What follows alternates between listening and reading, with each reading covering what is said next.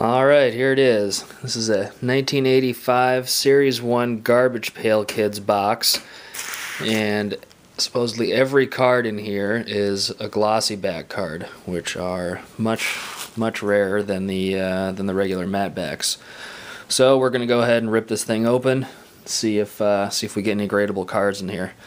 All right, let's see what we got.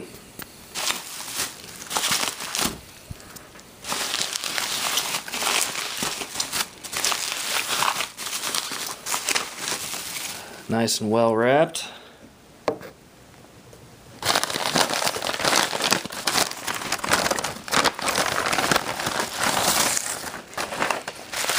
Extra well wrapped.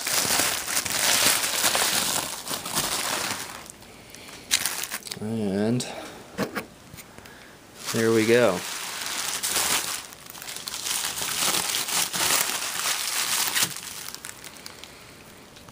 Nice Series 1 box. These are slightly more expensive now than they were when I was growing up. When I was stopping by and paying these buying these packs for 25 cents a piece after school. But uh, the fun doesn't stop. It's still a good time opening these things.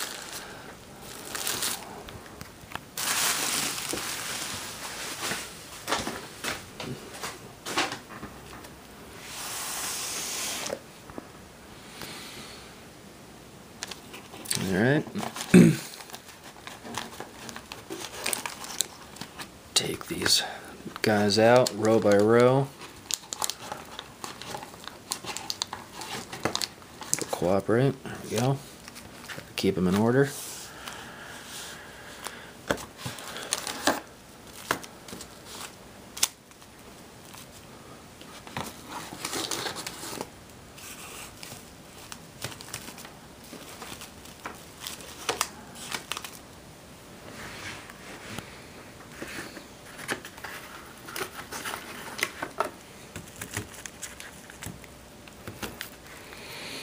Alright. Oops. Ran over some of the uh, some of the bubble wrap there. Anyway, so now we're gonna do go ahead and inspect inspect the edges here.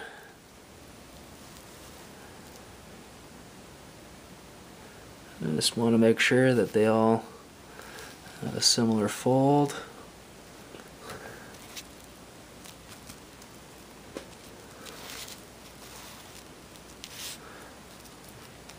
Try to do our best to make sure that they came from the same box.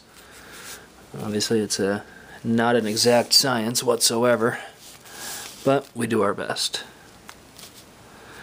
Now I know from the seller that a few of these had the the backs popped since there's no way else to distinguish if these are uh, are glossy or not without actually opening or being able to see inside some of these packs.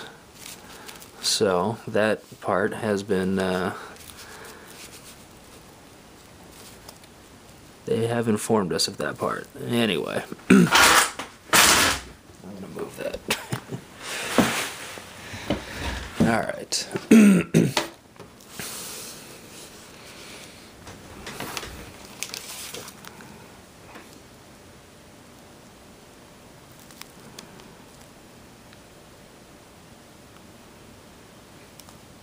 Yep. Look good. All right. Might have to hang up the Garbage Pail Kids poster here in the office. There we go.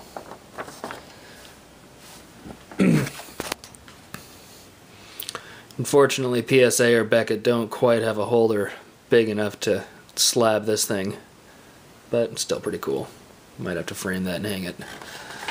Anyway, enough of this crap. Let's open the box.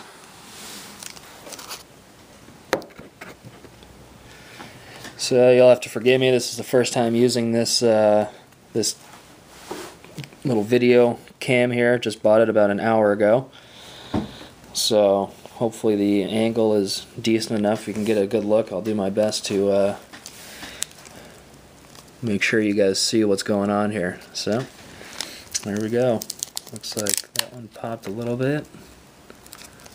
Those are glossy. Now we're actually, believe it or not, going to be careful with the wrappers too, because people actually buy the wrappers as well.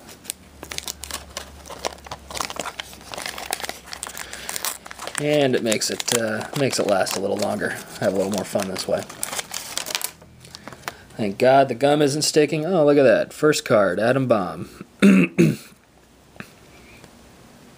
Not bad. Looks a little uh, little gum damage, unfortunately. Decently centered card. Yeah, that one's not going to work. But, well, so the good news is that this first pack, at least, is centered, which is anybody garbage pail kids or know that knows garbage pail kids knows that these things can come pretty jacked up as far as miscuts and off centering and all that good stuff. So obviously we're we're only one pack deep, but uh, that's a good sign so far.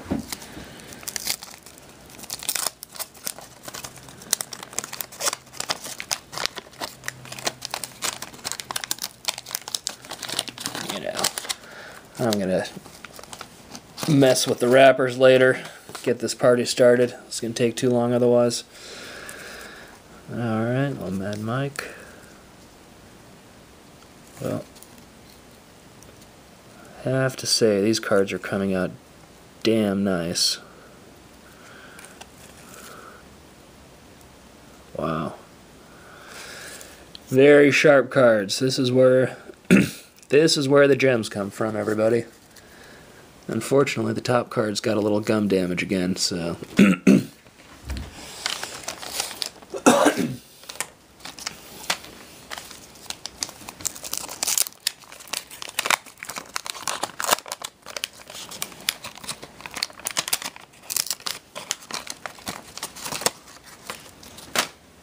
Get the gum out of there.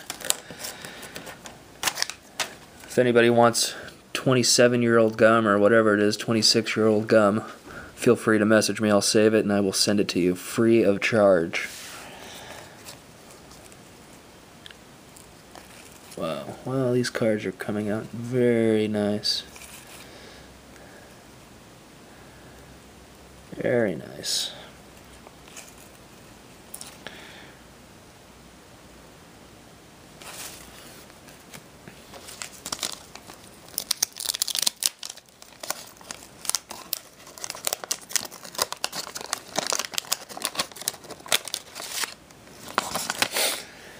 Now, what I didn't realize until I found the seller and spoke to the seller who had this box is that apparently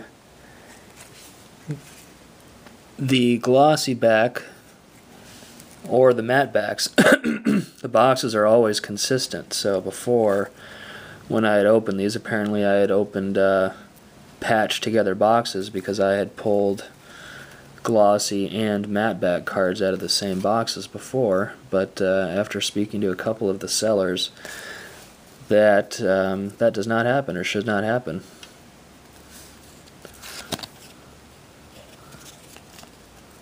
So I'm sure it's can't really see much of a difference here on the uh, on the camera here. It's more one of those things you got to feel it, but uh, the glossy and the matte backs are a big difference. You can definitely tell once you hold one in your hand. Uh, they are also the mats are, or the, excuse me, the glossies are also a lot more expensive because they're a lot harder to, uh, a lot harder to find. Nobody really knows what happened, but everybody, the general theory and accepted, uh, accepted uh, explanation is simply that they ran out of the matte cardstock and then uh, used what was ever sitting around the warehouse, which in this case was, oh, there we go, Blasted Billy. Ooh, that one looks pretty nice. Look at that. Let's see what the back looks like. Huh. A little bit of wax,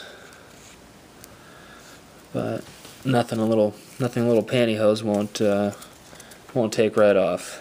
In case you didn't know that, if you ever have wax stains, that uh, have not actually stained the cardstock that is just literally like candle wax on top of the uh, on top of the card, you can actually wipe that off with uh, pantyhose or even a sock or any kind of a eyeglass. Eyeglasses, uh, uh, little handkerchief thing. Anyway. Cards are coming out nice and centered. That's all you can ask for.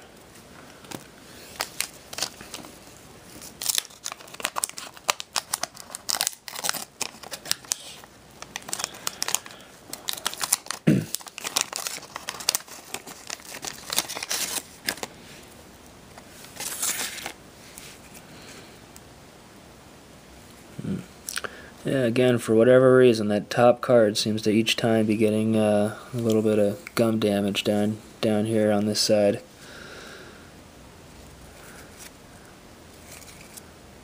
Oops. Sorry, guys. Try to hold these a little bit better for you, so everybody can get a get a good view and see what's coming out.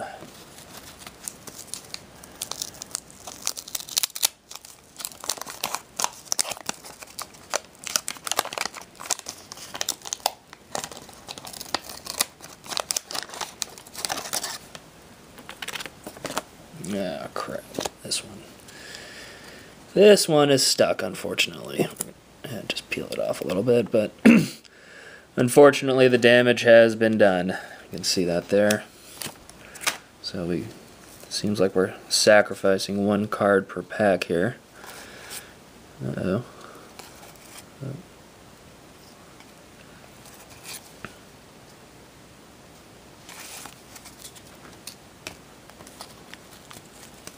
This must have been one of the, uh, one of the, well, it's not one of the popped ones, just a little miswrapped, but it's alright, it happens. It was 1985, wasn't exactly, uh, this wasn't exactly the number one seller for Topps at the time, or they didn't think it ever it would materialize to be, I should say. So, I'm sure they just uh, did whatever they had to do to get this thing out the door if I remember correctly, I remember uh, reading somewhere that initially these were tested in New York, in New York City at first. Series 1 was primarily. I'm sure it was in other places as well, but that was one of the test markets. It wasn't a nationwide release as, uh, as the subsequent series would turn out to be.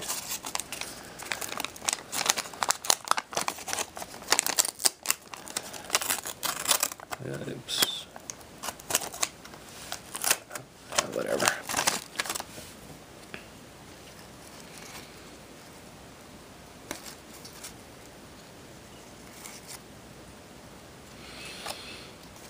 Very nicely centered cards, if you can see.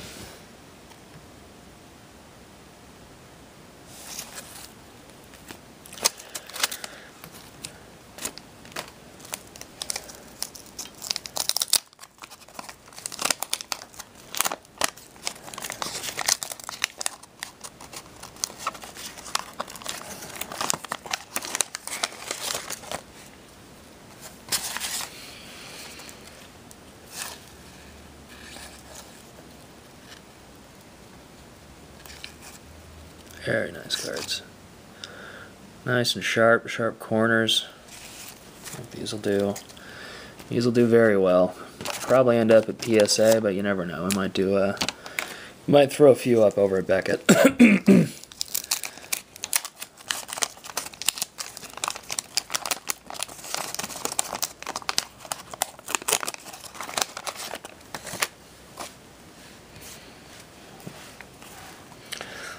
Well, looks like we got a Adam Bomb or a Billy. We don't know which one yet, so we'll get there. Nice. Again, just the, the green gene messed up there on the side from the gum. What do we got? Ooh, Adam Bomb. That one is pretty damn nice. Wow. Not bad, folks. That is a beautiful card. No wax. Corners look solid.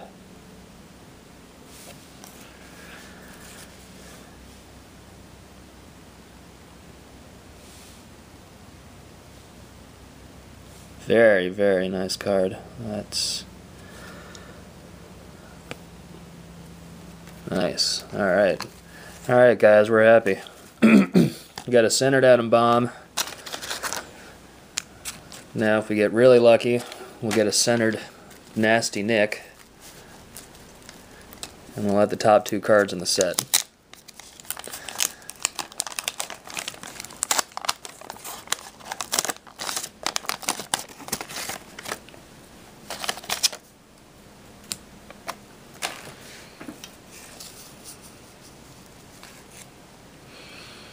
Ah, there's me, Frying Brian. Jacked up corner, unfortunately. Uh, nothing you can do about that. Which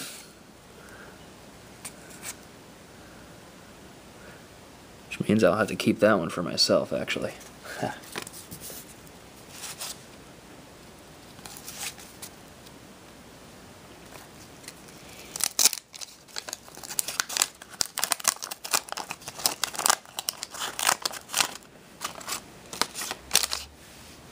Oh, there we go.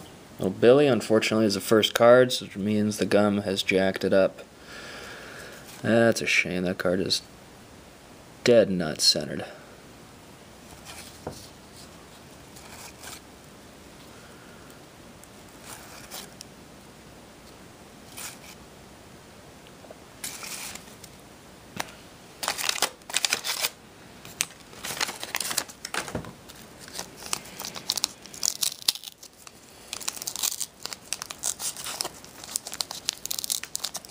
Dang it. Not cooperating. Alright.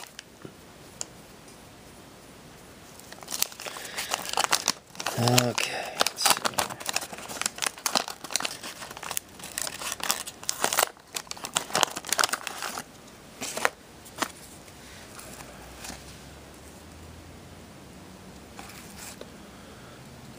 Melton Melissa. Which one is that?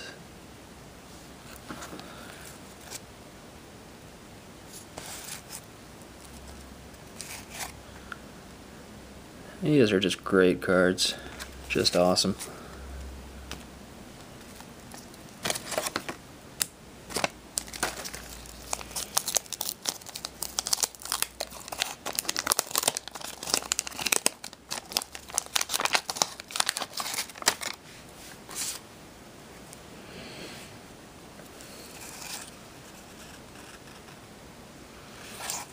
Very nice.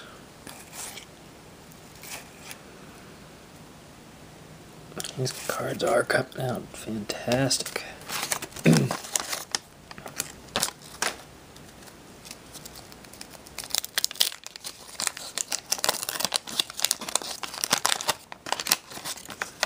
yeah, crap. One's all over the top.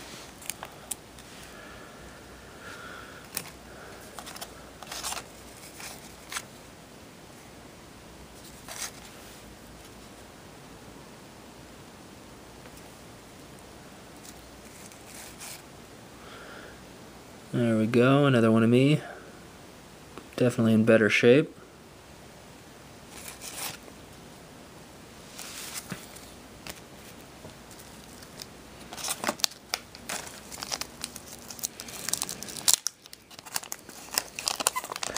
Now what's interesting that I notice on these is that uh, the theory being that the glossy, that the Topps ran out of the, the proper cardstock to uh, to continue making the matte backs, so they used the glossy back. However, which you would assume would happen towards the end of the print run. However, these packs are the 25 cent packs. Um, the 25 cent packs, the ones that uh, had that 25 cent on the on the top there, are actually were actually the first run that was uh, that was released, and uh, I believe the second or subsequent run, whatever it was, was um, was made without Nasty Nick. Uh, that one's a little crappy. A little beat up on that one. That's alright though. I'm sure we'll get another one. Um, anyway, the um,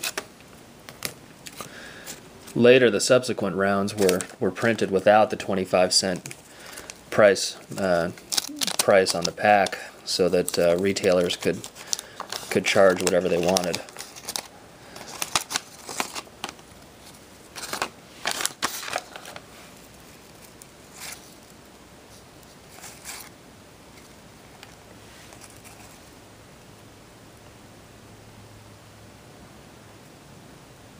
Not bad.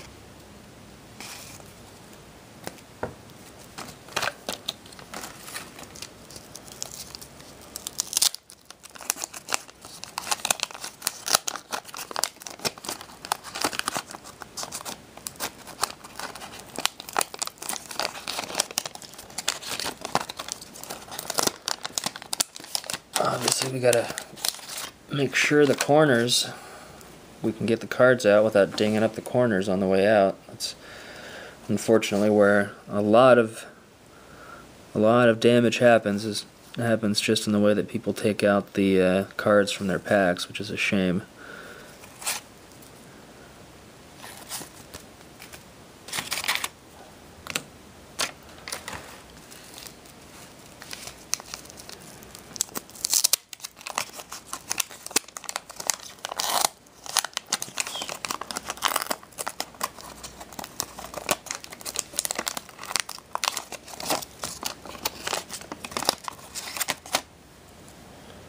Evil Eddie, jacked up from the gum. Oh, another Adam Bomb. Ooh. Good lord. Another one. Oh, nice. And it's a checklist back. There we go.